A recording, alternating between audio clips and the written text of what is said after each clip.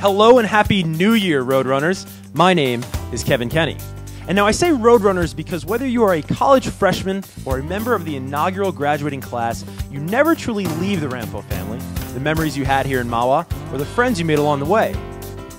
Now, right now, I'm standing here in Laurel Hall on the sixth floor, and if you look behind me, you'll see the center courtyard amidst the college's dormitories.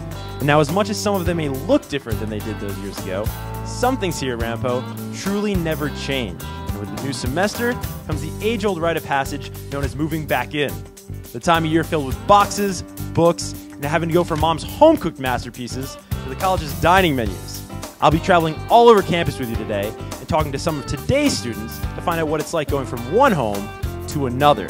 Uh, were you at a previous college before this? Yeah, I was at Raritan Valley Community College, so this is my first time like dorming or being on a campus, and, and it's so nice not to have to commute. And what dorm are you in on campus? In Linden, And how's Linden? it's good. Which dorm wins the battle of best dorm on campus? It's, I'll tell you, it's Bischoff. Bishop. Yeah. It's Laurel. One guy says Bischoff, one guy says Laurel. I want to hear the case for Bischoff. Well, I mean, freshmen are the best. I mean, let's be honest. I want to know what is the best food here on campus? Nothing. I'm just kidding. Um, I love the paninis. The paninis here are great. This pay calf right here, good food, man. Best food I've ever had. What's your favorite? What would you say is your favorite station here? There's Sky Ranch Grill. You can get like your chicken fingers, your burgers. You know, it's a good selection there. Yeah. Very cool, very cool. Uh, so, what are your thoughts about the spring 2014 semester and moving back in?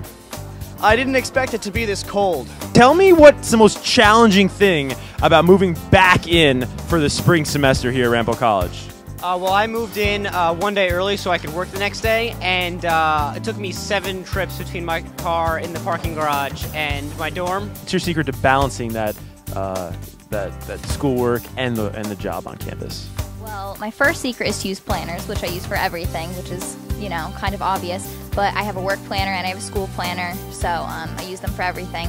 And my other secret is to take time for yourself as well, because if you burn out, you're not going to be productive at all. Uh, what are you most looking forward to about the spring semester?